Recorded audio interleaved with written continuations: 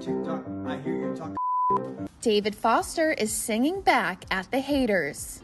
It all started January 5th when his wife Katharine McPhee posted the now viral video of their two year old son Rennie playing the drums.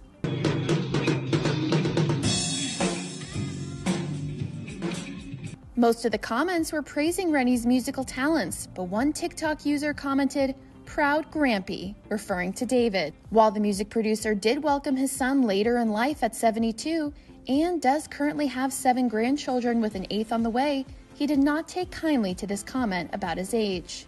But instead of yelling at the haters, he's deciding to sing to them. Katharine posted this video to her TikTok where the couple pokes fun at the comment and cheekily plugs their upcoming tour dates. Come and see us on tour because we've got more than one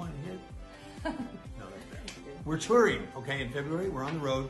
Come and see us, see what we do. We have so many dates coming up in February. And this isn't the first controversial comment sparked by Rennie's viral video.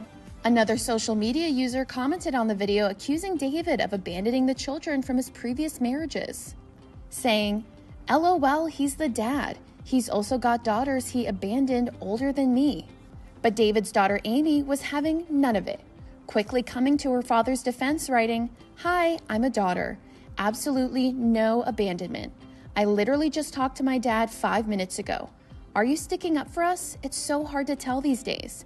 You see a video with an amazing two year old and your takeaway is something negative? All you have to do is look at the comments, and Rennie's sisters have all chimed in with compliments. We're great. We love our dad. Our dad loves us. And we love how our dad is with Rennie. And Katharine's proving that she also has her husband's back when it comes to criticism about his age. Posting a video to her TikTok January 8th, responding to backlash about the couple's 35 year age gap in an iconic way. Because it's iconic. And I love to do iconic